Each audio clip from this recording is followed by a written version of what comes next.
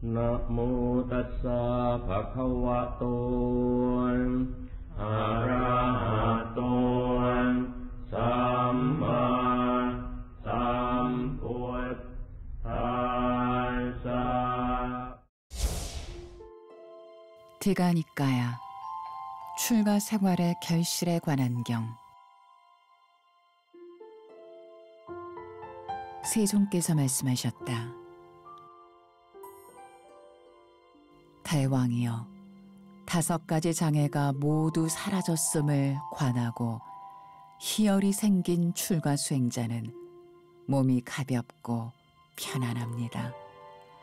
몸이 가볍고 편안해진 이는 즐거움을 느끼고 즐거운 이의 마음은 삼매듭니다. 그는 감각적 욕망들과 마음을 산란하게 하는 해로운 법들을 완전히 여윈 뒤 생각과 사유를 갖추고 멀리 여위어서 상견하는 희열과 즐거움으로 가득한 첫 번째 선정을 성취합니다. 여임에서 생겨나는 희열과 즐거움으로 몸을 흠뻑 적시고 충만하게 합니다. 그리하여 온몸 구석구석 여임에서 생겨나는 희열과 즐거움이 스며들지 않는 곳이 없도록 합니다.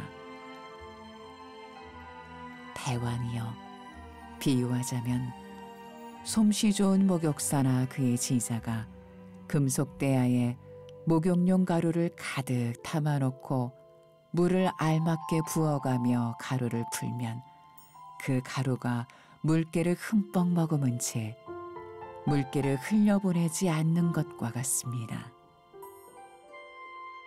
대왕이여 이것이 앞에서 설명한 스스로 보아 알 수 있는 출가 생활의 결실보다 더 뛰어나고 수승한 것입니다. 대왕이여 다시 그는 생각과 사유를 멈추고 내적 평온과 마음이 하나됨을 이루고 삼매에서 생겨나는 희열과 즐거움으로 가득한 두 번째 선정을 성취합니다. 삼매에서 생겨나는 희열과 즐거움으로 몸을 흠뻑 적시고 충만하게 합니다. 그리하여 온몸 구석구석 삼매에서 생겨나는 희열과 즐거움이 스며들지 않는 곳이 없도록 합니다.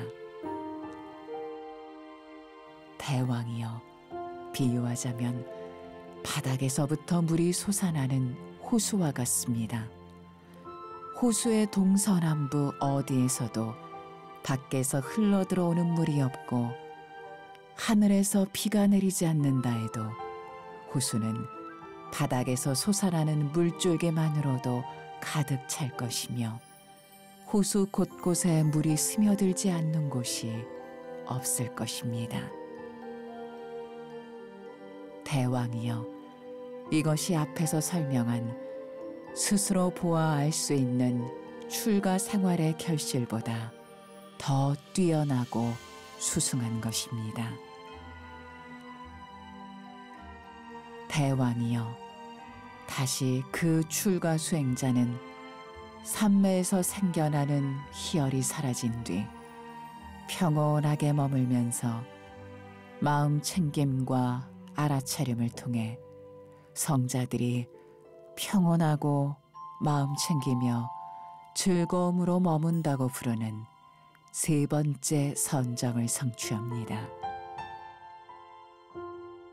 희열이 사라진 즐거움으로 몸을 흠뻑 적시고 충만하게 합니다.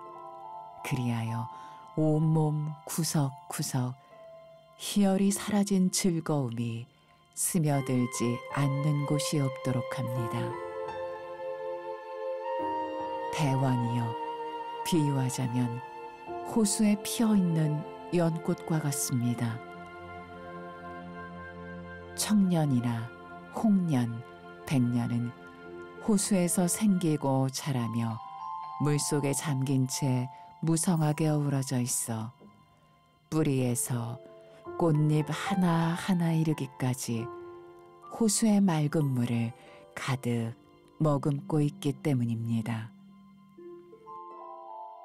대왕이여, 이것이 앞에서 설명한 스스로 보아 알 수 있는 출가 생활의 결실보다 더 뛰어나고 수승한 것입니다. 대왕이여, 다시 그는 즐거움도 버리고 괴로움도 버리고 만족과 불만이 다 사라진 뒤 괴로움을 뛰어넘고 즐거움을 뛰어넘어 평온하고 마음 챙김이 청정한 네 번째 선정을 성취합니다.